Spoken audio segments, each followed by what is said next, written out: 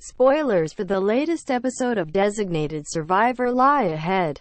We kind of knew that it was coming. But it didn't make it any less of a shock. The First Lady is gone. In last night's December 13th episode, Alex Kirkman, Natascha McElhone, was killed off in a horrific car accident, leaving President Kirkman alone in the White House. And although Tom looked just as devastated as we are about the loss of his wife, Designated Survivors showrunner Keith Eisner has promised that it's not the end for the president.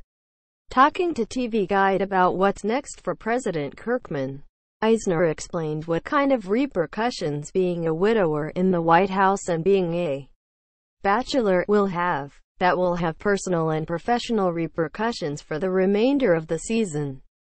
He said, and it's also terra nova dramatically. We haven't seen this in a television show. A president who is essentially by himself. In the isolation of being a single parent and of having to figure out what to do professionally and personally without his partner. That is a very interesting and exciting dramatic area for us to go into too. Quote, adding that Kiefer Sutherland's Kirkman will be isolated. Eisner continued, We'll see how that has ramifications in both the personal and political arenas. Quote, but the story of Alex's death doesn't end there. Folks, the series boss also teased that her exit might not have been an accident. Intriguing stuff. That's something I won't reveal. He said, we'll wait till we get back before figuring out exactly what happened and why.